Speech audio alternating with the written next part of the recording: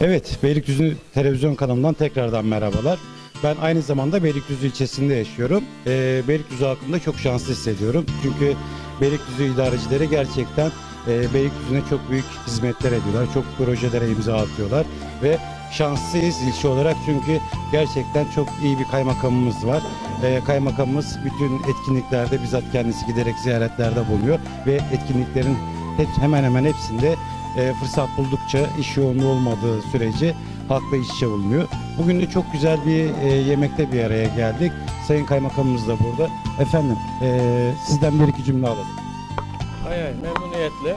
Ee, önce hayırlı olsun Ee, bu ilçemizdeki televizyonculuk e, iştigaliniz bizim için bir kazanç. İlçemizi daha iyi tanıtmak ve etkinlikleri e, halkın e, bilgisine sunmak ve benzeri e, sosyal ve kültürel anlamdaki faaliyetlerde katkıda bulunma manası çıkacağı için e, teşekkür ediyoruz. Biz e, sizin de ifade ettiğiniz gibi daima insan odaklı e, sorunlarımıza çözüm bulma arayışı içerisindeyiz. Artı tabii ki insan olarak da e, daima bir sosyal çevrenin parçası olarak aktivite e, göstermek ve aktif olmak zorunluluğunu hissediyoruz.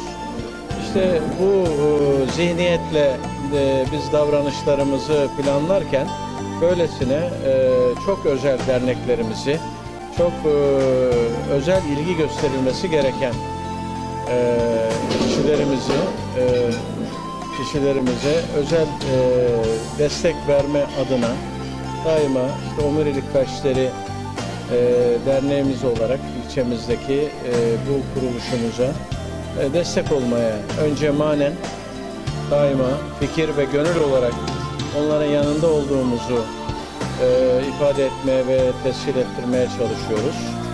E, ayrıca da maddi imkanlarımızda olduğu sürece de e, desteklerimizi esirgemiyoruz. Değerli iş adamlarımızın ilgisini buraya yoğunlaştırmaya çalışıyoruz. Öncelikle onların bilgisine sunuyoruz. Buraya ziyaretlerini temin etmeye çalışıyoruz. Buraya ziyaret eden insanların onlarla gönül köprüsü kurmaması mümkün değil. Evet. Çünkü hepimiz bir engelli adayız diye genel bir slogan vardır. Ee, Allah inancı olan, hayatın gerçeklerini görebilen insanlar yarın ne olacağımız belli değil. Kaderimiz e, ve yaşam koşulları gerektiğinde bizi e, her türlü serüvene e, itebilir, e, sürükleyebilir. Bunun için önce hümanist bir gözlemle, hümanist bir bakış açısıyla insanlara kucak açma, iyilikten, güzellikten yana olma anlayışı içerisinde bu kardeşlerimiz neden böyle diye düşünüyoruz. Daha sonra bunu fazla düşünmekten ziyade ne yapabiliriz e, anlayışı içerisinde işte bu tür zaman zaman birlikteliklerle onlara e, güler yüzle yaklaşmaya ve beraber olmaya çalışıyoruz. Ve e, birçok e, gönül dostu, birçok e, sosyal kültürel hareketlerin neferi olan erkek, bayan birçok iş adamımız, iş kadınımız ve vatandaşımızı buraya yoğunlaştırarak buranın sorunlarını hep birlikte çözmeye çalışıyoruz. Ramazan Baş, buranın derneğin genel başkanı, Gülüm Hanım, e, Gülüm Hanım aynı şekilde, e, müdürümüz aynı şekilde bu e, kuruluşu ihya etmek adına, bu e, özel insanlarımızın sorunlarına yaklaşmak ve çözmek adına canla başla çalışıyorlar. İşte bugün de onlardan bir tanesi hep birlikte değerli iş adamımız Metin Karayazı vardı, işte İskender Bey vardı, Yücel Bey var burada, Milli Eğitim Müdürümüz yanımızda sağ olsun. Onlarla birlikte bir öğlen yemeği yedik. Siz basın mensuplarının ilgisiyle de bu noktayı yakalamaya ve gelmeye çalışıyoruz. Ee, sorunlarımızı burada sıralamak vatandaşlarımızı e, sıkabilir. Biz e, o cümlelerle noktalamak yerine diyelim ki bir gün ziyaretinizi bekliyoruz. Evet. Değil mi? Müdürüm, Gülüm Hanım. Yani buraya gelenlere biz güler yüzle karşılıyoruz. Çayımızı, kahvemizi, yemeğimizi ikram ediyoruz ve onların gönül serbestliğiyle ilgilerini bekliyoruz. Bu iletişimi iyi kurabildiğimiz takdirde bu iş olur gider. Çünkü her şeyi devletten beklemek felsefesi e, biraz artık e, çok desteklenmesi gereken bir e, süreç değil.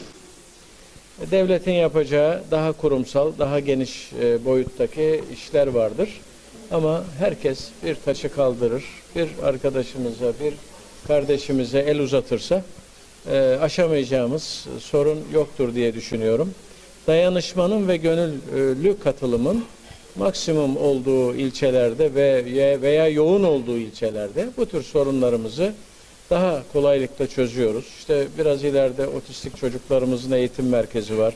Yine biraz ileride e, özel çocuklarımızın bakıldığı rehabilitasyon merkezimiz var.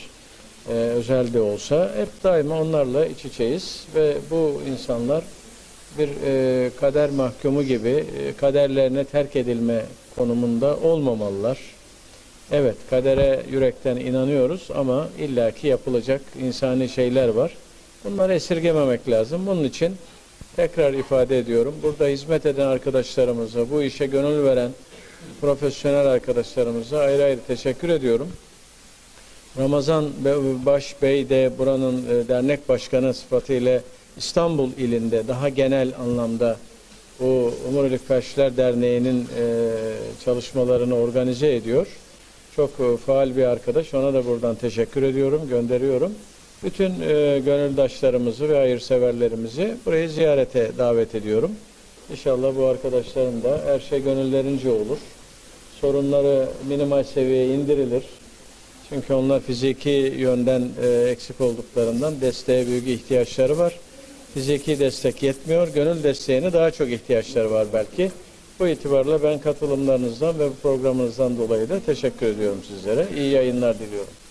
Evet, e, Sayın Kaymakamımızın da bahsettiği gibi gerçekten e, burada e, ben de e, hem dernek başkanlığı hem çalışanlığını gerçekten burada bizzat bir haberci, bir televizyoncu olarak e, gözlemledim, izlem, izledim. E, gerçekten tebrik ediyorum.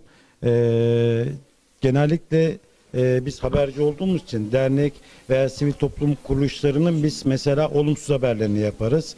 Çünkü niye? Art niyetle kuruluyorlar bu. Mesela bugün de gene bir haberimiz oldu, çekimlerimiz oldu bu konuyla ilgili, yolsuzlukla ilgili ama böyle derneklerin varlığı da bizleri e, hem onurlandırıyor hem de e, hoşumuza gidiyor. Bir Türkiye Cumhuriyeti vatandaşı, bir birey olarak hoşumuza gidiyor.